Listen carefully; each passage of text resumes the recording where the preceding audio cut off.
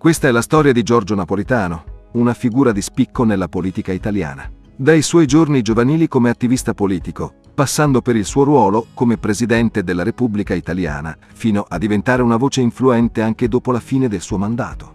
Questa narrazione offre un'immersione nella vita e nelle sfide affrontate da Napolitano. Giorgio Napolitano è stato il primo presidente italiano ad essere eletto per due mandati consecutivi, una figura rispettata per la sua lunga carriera politica e le sue decisioni cruciali durante momenti critici nella storia italiana. Tuttavia ha anche affrontato critiche e controversie che includevano le sue decisioni riguardo a leggi, controverse e il suo coinvolgimento in conflitti legali di risonanza nazionale. Oltre al suo ruolo istituzionale, Napolitano è stato una figura chiave nella politica italiana, spesso al centro di dibattiti politici e dibattiti pubblici. Le sue azioni e decisioni hanno suscitato discussioni e opinioni contrastanti, contribuendo a definire il suo legato nella politica italiana. In questo video esploreremo la vita, la carriera e le controversie che hanno circondato Giorgio Napolitano, una figura complessa e influente nella storia politica italiana. Prima di cominciare iscrivetevi al canale e attivate la campanellina delle notifiche per essere sempre aggiornati, anche un like per noi è molto importante. Seguitemi anche sui miei social e sugli altri miei canali, troverete tutti i link in descrizione. Grazie mille. Giorgio Napolitano ha visto la luce a Napoli, terra di profonde tradizioni e passioni, dove il suo padre Giovanni, un avvocato dal pensiero liberale e un poeta in spirito, si è incrociato con la sua madre Carolina Bobbio, discendente di nobili napoletani con radici piemontesi. Nel remoto passato, negli anni tra il 1938 e il 1941, Giorgio inizia il suo percorso educativo presso il liceo classico Umberto I di Napoli. Qui, tra le aule polverose e i corridoi vivaci, frequenta la quarta e la quinta ginnasio prima di affrontare la sfida della seconda liceo. Ma quegli anni sono segnati dalla guerra, un'ombra che sconvolge ogni progetto. Nel dicembre seguente, la sua famiglia si trasferisce a Padova, dove Giorgio consegue il diploma presso il prestigioso liceo classico Tito Livio. Nel 1942, con un futuro ancora incerto, si iscrive alla facoltà di giurisprudenza presso l'Università Federico II di Napoli. In quegli anni tumultuosi, Giorgio si unisce al gruppo universitario fascista di Napoli. Attraverso il settimanale Non Omaggio, trova una voce nella critica teatrale.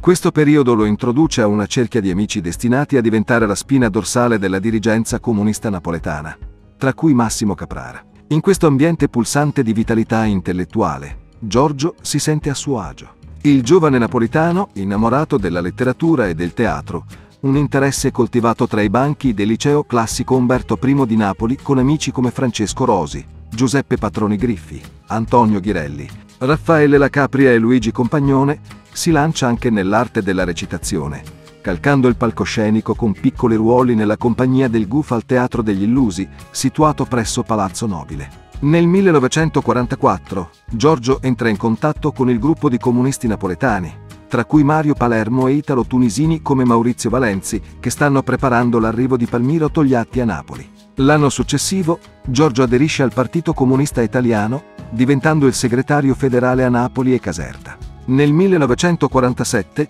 si laurea in giurisprudenza con una tesi di economia politica intitolata Il mancato sviluppo industriale del Mezzogiorno dopo l'unità e la legge speciale per Napoli del 1904.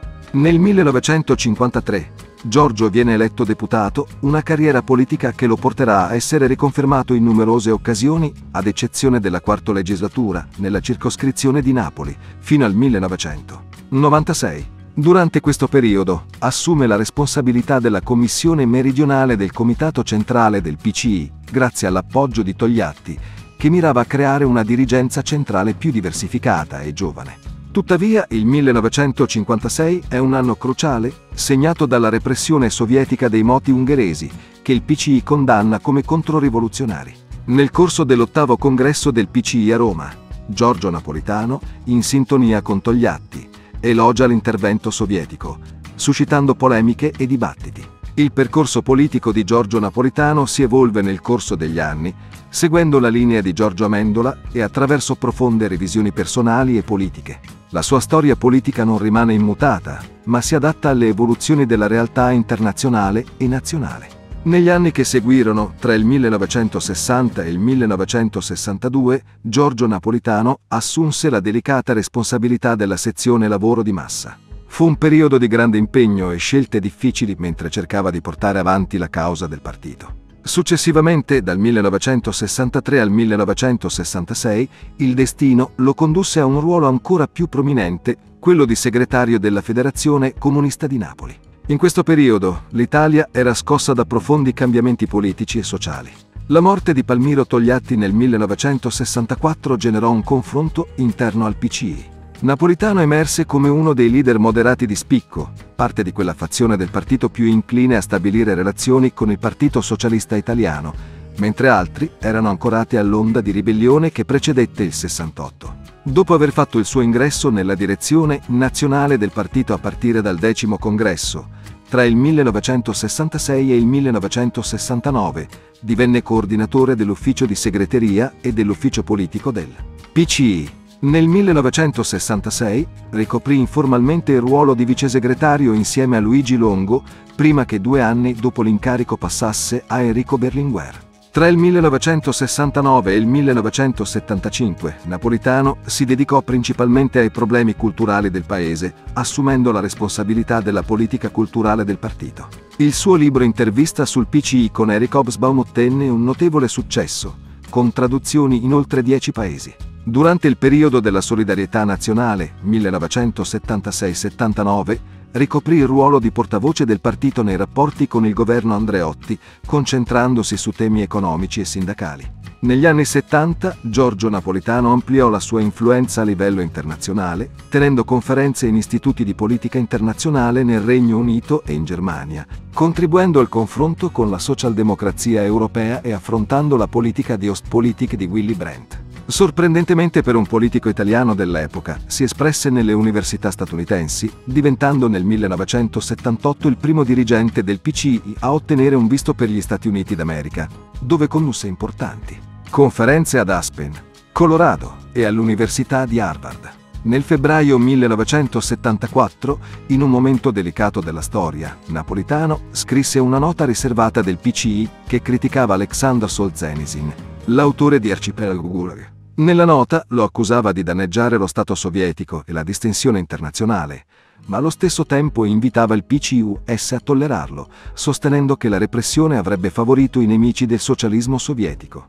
Tuttavia, quando Solzhenitsyn fu espulso dall'URSS napolitano, scrisse articoli sull'unità e rinascita, in cui respinse ogni dialogo con il dissidente deluso dal socialismo reale e mantenne una posizione ambigua sulla decisione del Cremlino di esiliarlo. Dal 1976 al 1979 Giorgio Napolitano assunse la responsabilità della politica economica del partito, continuando il suo lungo percorso di servizio al PCI e alla politica italiana. Giorgio Napolitano si rivelò come uno dei punti di riferimento storici della corrente di destra del PCI, un'ala che vide la luce verso la fine degli anni 60 e si ispirava ai valori del socialismo democratico, seguendo l'eredità di Giorgio Amendola. In quegli anni di dibattiti interni al partito, la fazione di Napolitano veniva talvolta etichettata dai rivali come migliorista, un termine che aveva una certa connotazione dispregiativa.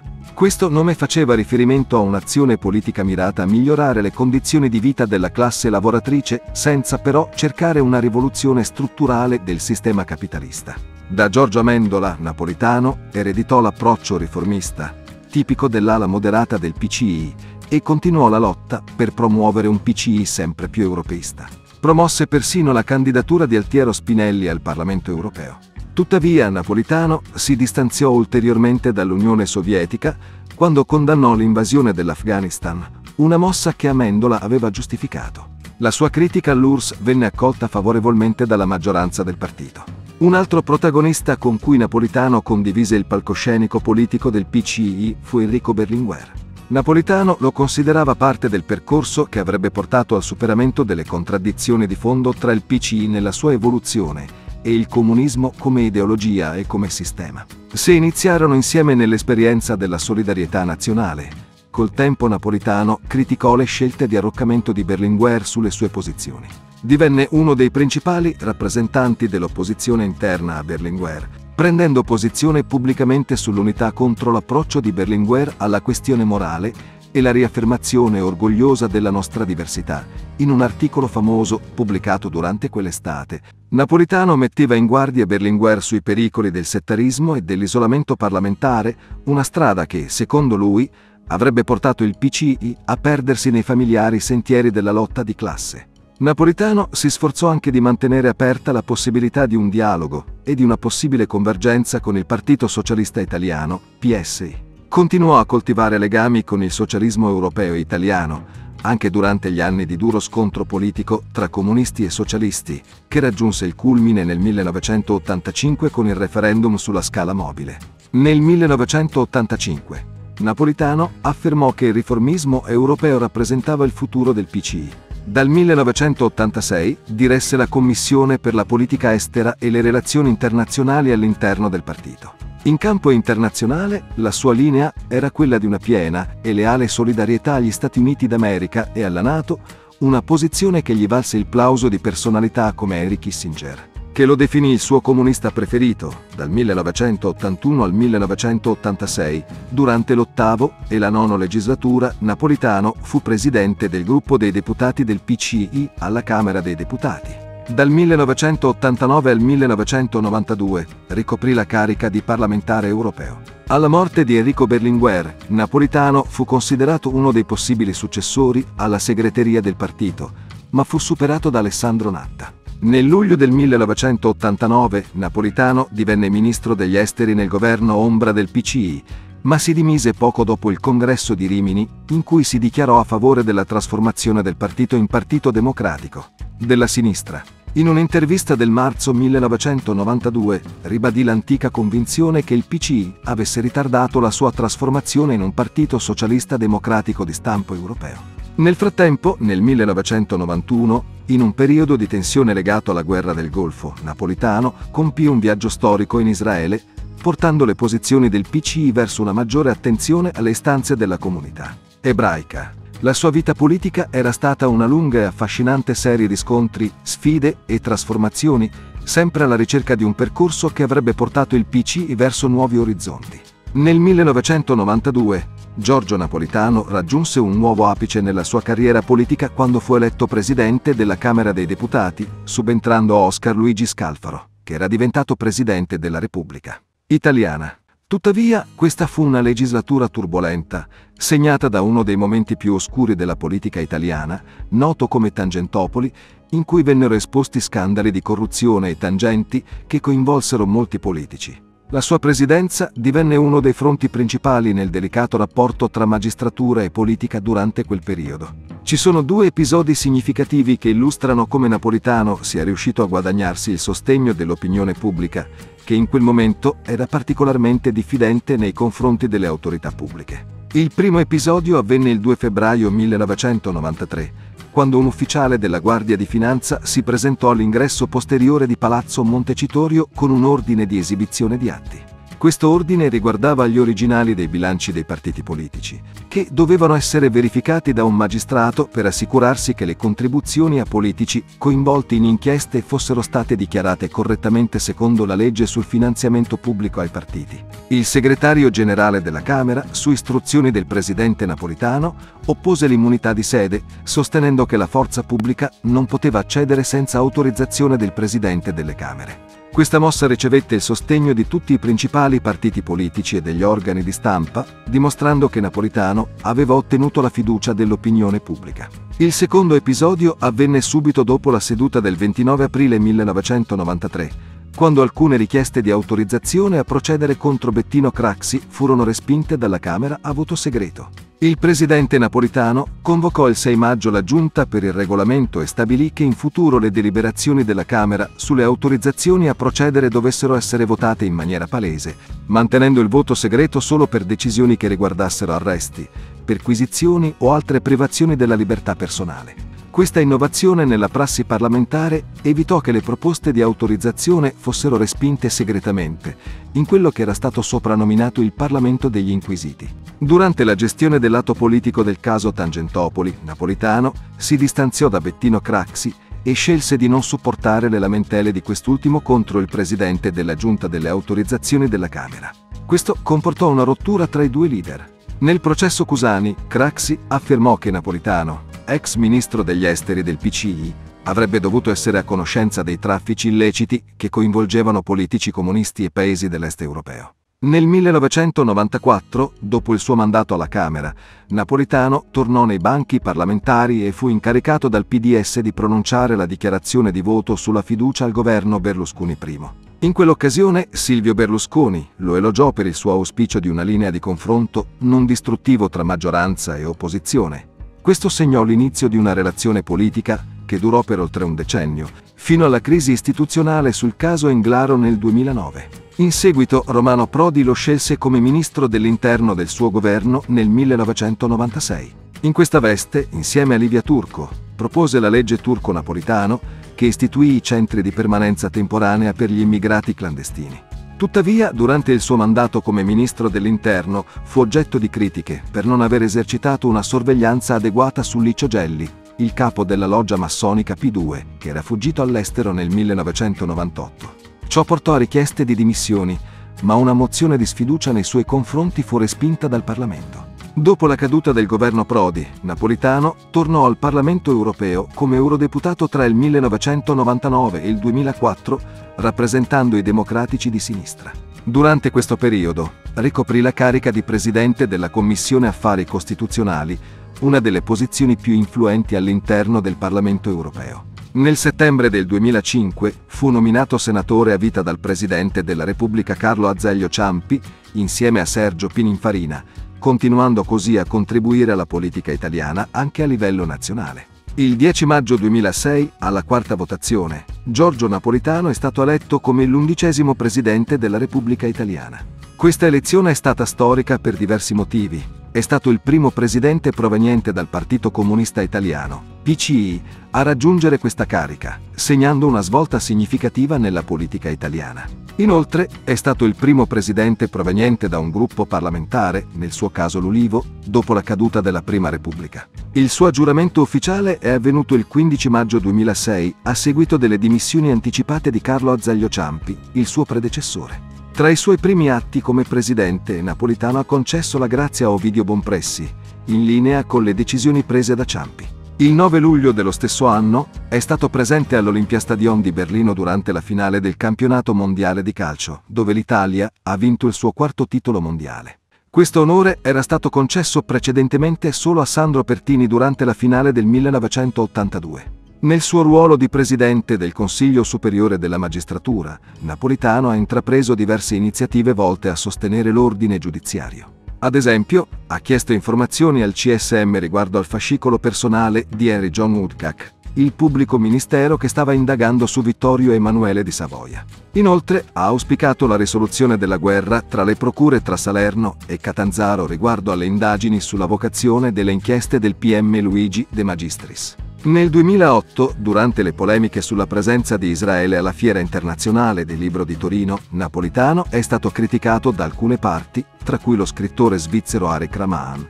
per aver dato una valenza politica all'invito a Israele. Nel rispondere a queste critiche, il Quirinale ha emesso una nota ufficiale. Il 14 novembre 2009 Napolitano ha ricevuto una laurea honoris causa in politiche e istituzioni dell'Europa dall'Università degli Studi di Napoli l'Orientale. Nel 2010 ha dato avvio alle celebrazioni per il 150 anniversario dell'Unità d'Italia.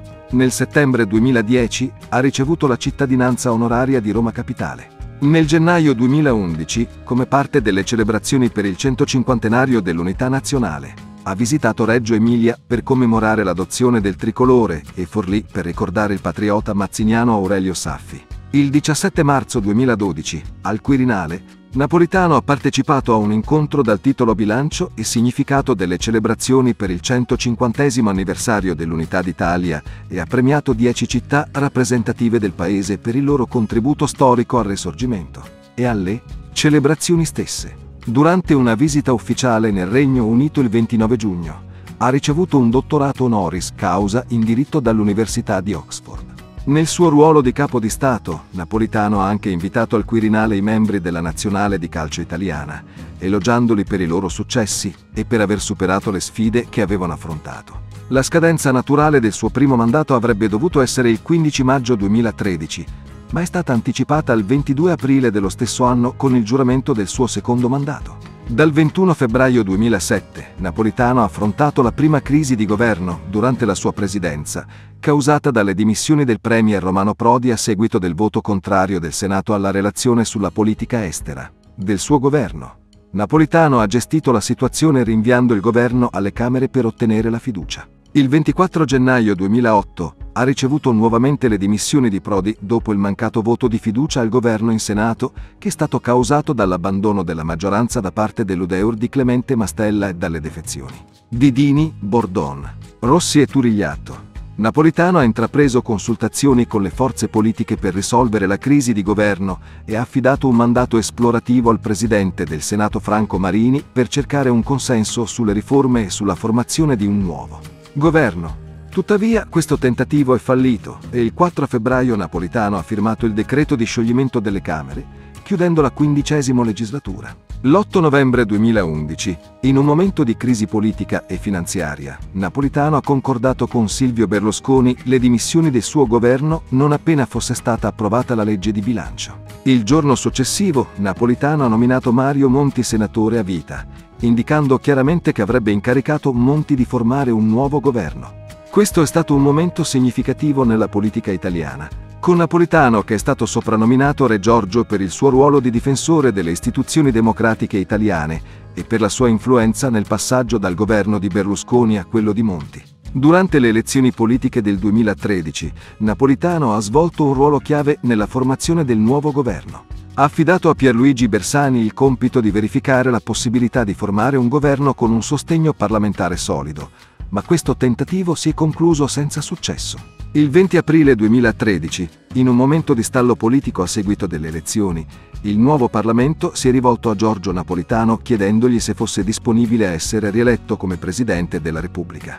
La sua disponibilità è stata accolta e alla sesta votazione è stato rieletto alla carica con 738 voti su 997, diventando così il primo Presidente nella storia della Repubblica Italiana essere eletto per un secondo mandato. Per completare questa procedura, il 22 aprile, Napolitano ha firmato le dimissioni anticipate dal suo primo settennato, inaugurato il 15 maggio 2006. A seguito di ciò, lo stendardo presidenziale sul Palazzo del Quirinale è stato temporaneamente ammainato. Alle 17 dello stesso giorno, ha prestato giuramento come presidente rieletto, pronunciando il suo discorso al Parlamento in seduta comune. Questa cerimonia di insediamento è stata più sobria e breve rispetto a quella precedente. Per gli spostamenti non è stata utilizzata la solita lancia flaminia presidenziale, ma una tema, e il presidente è stato scortato solo da quattro carabinieri motociclisti. Poiché era una rielezione, non c'è stato un passaggio di consegna al Quirinale. Nelle settimane successive, in una videointervista a Eugenio Scalfari, Napolitano ha dichiarato che si è sentito quasi costretto ad accettare la candidatura per un altro mandato, anche se era profondamente convinto di dover lasciare ha spiegato che il paese aveva vissuto un momento difficile e che ha accettato la rielezione per senso delle istituzioni e per garantire la continuità istituzionale. Il 23 aprile ha aperto le consultazioni di rito per la formazione del nuovo governo e il giorno successivo ha affidato a Enrico Letta l'incarico di formare un governo di unità nazionale, considerato il primo nella storia repubblicana l'8 giugno 2013 ha effettuato la sua prima visita ufficiale all'estero durante il secondo mandato, recandosi in Vaticano da Papa Francesco.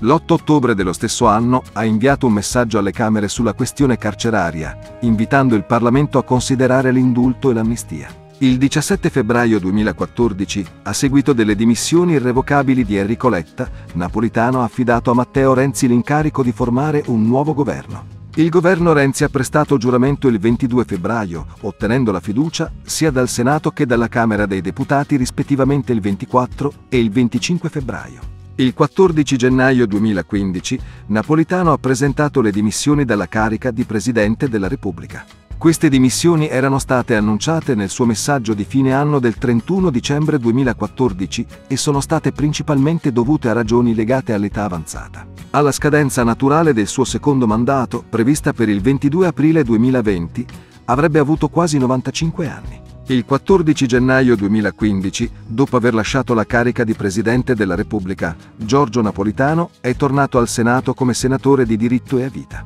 Il 19 gennaio successivo si è unito al gruppo parlamentare per le autonomie, PSI, MAIE. Il 31 gennaio, durante il quarto scrutinio delle nuove elezioni per il capo dello Stato, ha ottenuto due voti. Inoltre, il 1 aprile 2015 è stato nominato presidente onorario dell'Istituto per gli studi di politica internazionale. Nel 2016 ha criticato l'iniziativa riguardo al referendum abrogativo sulle concessioni petrolifere, definendola inconsistente e pretestuosa, difendendo il diritto all'astensione. Durante lo stesso anno si è schierato a favore della riforma costituzionale Renzi Boschi, che è stata successivamente bocciata dal referendum del 4 dicembre.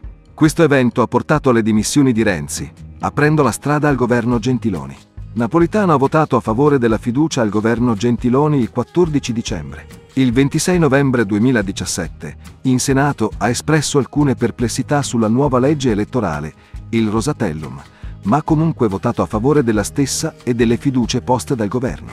Il 23 e 24 marzo 2018, in qualità di senatore più anziano, ha svolto le funzioni di presidente provvisorio del Senato della Repubblica. Durante questo periodo ha presieduto le votazioni che hanno portato all'elezione della senatrice Maria Elisabetta Alberti Casellati come seconda carica dello Stato. Il 24 aprile 2018, a causa di un malore con forti dolori al petto, è stato ricoverato d'urgenza all'ospedale San Camillo di Roma, dove è stato sottoposto a un intervento all'aorta. L'operazione è stata un successo e il 2 maggio l'ospedale ha comunicato che il senatore era stato trasferito al reparto di degenza della cardiochirurgia, avviando un programma di riabilitazione cardiorespiratoria. Il 22 maggio è stato trasferito in una clinica per continuare il decorso post-operatorio ed è stato infine dimesso il 7 giugno. Dal 7 aprile 2021 è diventato il presidente della Repubblica più longevo, superando il suo predecessore Carlo Azeglio Ciampi, che è morto nel 2016 all'età di 95 anni e 282 giorni.